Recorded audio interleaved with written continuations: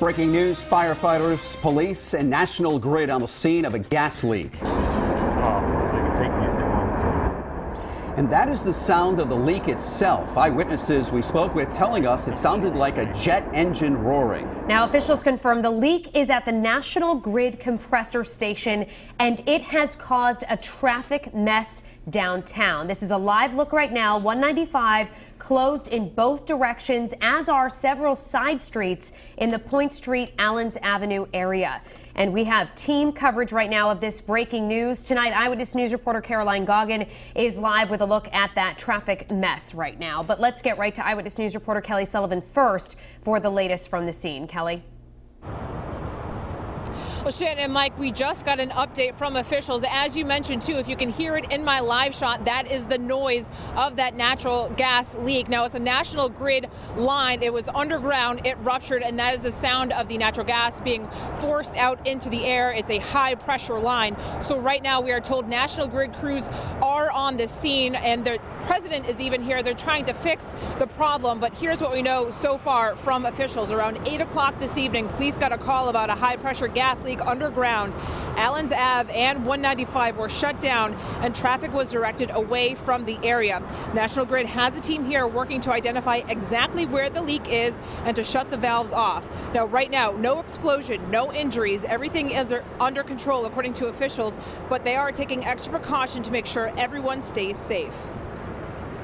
It's highly explosive, so we don't want that to be ignited as that gas dissipates into the air, everything's safe. So we got to keep any ignition source away from this leak. We shut down the area over by the hospital, excuse me, by Eddy Street, because we have to shut down any traffic coming from Eddy Street towards Allens Avenue down this way. All right, and so we are told the leak is happening somewhere on Allens Avenue. National Grid has some sort of building underneath 195 in that area. So right now, officials say they're not sure what caused that rupture. They are asking people to just stay away from this uh, area. They're diverting traffic away. And of course, right now, it's unclear how long it will take to fix this problem. So in the meantime, they are asking people to just stay away. But for now, we will stay on scene and continue to give you updates as this story continues to develop. Mike Shannon, back to you. You know, Kelly, obviously they can smell it in Providence, but we're getting reports that people could actually smell the gas leak as far away as Cranston. What is it like now? Well, Mike, it's interesting you mentioned that. You know, when we got on scene, certain pockets, certain areas we were in, we could smell it. But um, Commissioner Pare even mentioned the wind is actually helping in this area because it's blowing the gas away. Otherwise, it would just be stagnant in the air. So right now where we are, we don't really smell anything, but based on the wind direction, we don't know which way it's going, but right where we are in this area, we don't smell anything. It could be taking it in some other direction, and that's why other people might be smelling it in other parts. Uh, uh, away from East Providence, as you mentioned, but uh, right now we don't smell anything. It's just uh, they're just trying to keep people away, keep this area secure until they can figure out what the problem is, get it fixed, and then sometime at some point reopen it. We're just not sure when that's going to be. Mike Shannon. All right, Kelly Sullivan, and she's going to stay on the scene all night giving us updates. Now, as for the safety concerns tonight, we're told that officers have blocked Route 195, surrounding streets, rerouting traffic, as Kelly mentioned. And with more on that, because we've told you it's created a mess, Eyewitness News reporter Caroline Goggin has the latest on the driving conditions along 195. Caroline, what can you tell us? Well, Shannon and Mike, I am here on South Water Street and Point Street. What I can tell you right now is that I just spoke with Providence Police. They're telling me they have two hubs set up right now, one in this area of Providence, another hub set up in East Providence as they're diverting traffic that in various areas. As we said, 195 is shut down in both directions tonight, but we have plenty of other closures to tell you about. Allens Avenue from O'Connell to Point Street, Eddy Street from Public Street to Allens Avenue, Black Street and Public Street are closed entirely entirely. 95 North and South have no access to the bridge to get over to East Providence, and the Point Street Bridge, which we are standing right next to right now, is closed to westbound traffic, and it looks like they may be attempting to close it, close it to eastbound traffic as well. Now, obviously, this is causing a lot of traffic headaches and delays. We caught up with someone earlier tonight who sat in that traffic. Here's a listen at what he told us.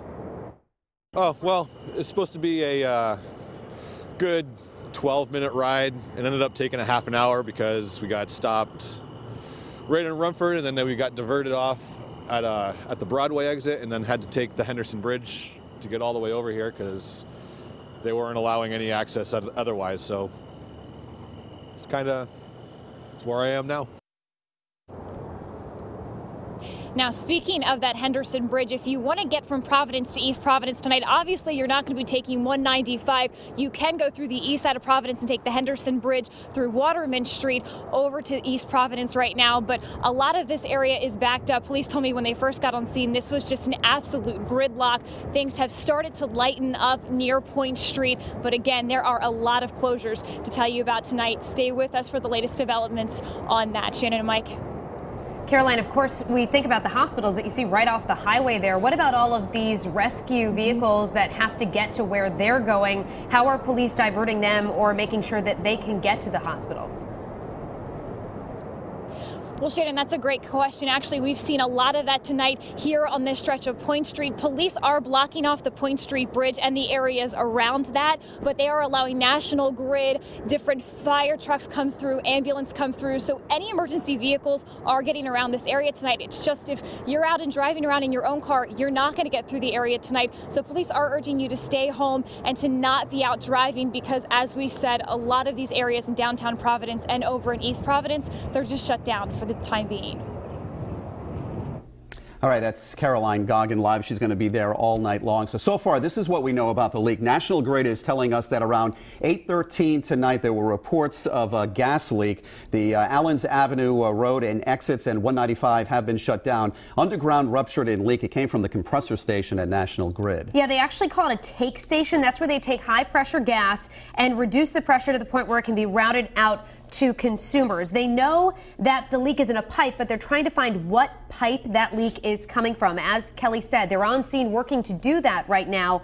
Uh, we did ask if there's any sort of ignition threat, because that's, of course, what you think of when you think of a big gas leak. Uh, all they're saying right now is that they're just trying to make the area safe, which is obviously why they've taken the drastic move of, of shutting down 195 in and, both directions. And originally, people were saying they heard explosions. The explosions were the gas leak that they could hear. So there have been no injuries reported so far, and we're going to stay obviously on top of this as uh, Allens Avenue, 195, and surrounding roads remain closed. And please stay with Eyewitness News for continuing coverage of this gas leak in the capital city. I'm going to bring you updates as we get them tonight, and be sure to tune in to Eyewitness News this morning morning and uh, also on WPRI 12 at 11 o'clock. Now, tomorrow morning, traffic reporter Melissa Sardelli will be here keeping a close eye on your morning commute.